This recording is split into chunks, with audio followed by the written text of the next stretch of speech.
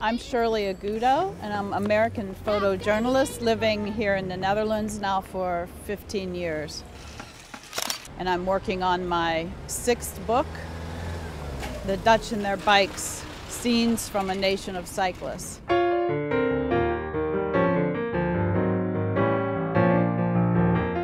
My book is all about the Dutch bicycle culture and how pervasive it is here in the culture. The Dutch do everything on their bikes. They go everywhere. It's a primary means of transportation.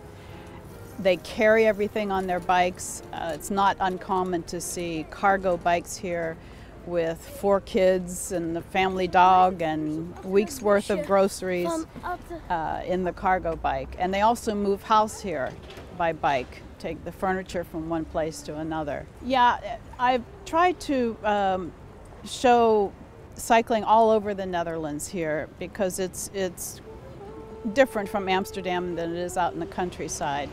Um, so it's a good representation of the infrastructure and um, uh, cycling through rain, sleet, and snow. The Dutch are very hardy people and they cycle through anything. One of the things I really enjoy photographing here are the, the dogs on bikes. You see that a lot, both in the baskets in front of the bike and sometimes behind, and a lot of times in the cargo bikes. And you you just be, would be amazed at what people carry on their bikes here. Um, one time I was out shooting here in Amsterdam and I saw a man carrying a, a, full mattress on the back of his bike. So I, of course, ran after him because I wanted to get that shot. People around the world are interested in my books about the cycling culture here. Uh, both the Bicycle Mania Holland book that I did before, that's now almost sold out, and my new book, The Dutch and Their Bikes Scenes from a Nation of Cyclists.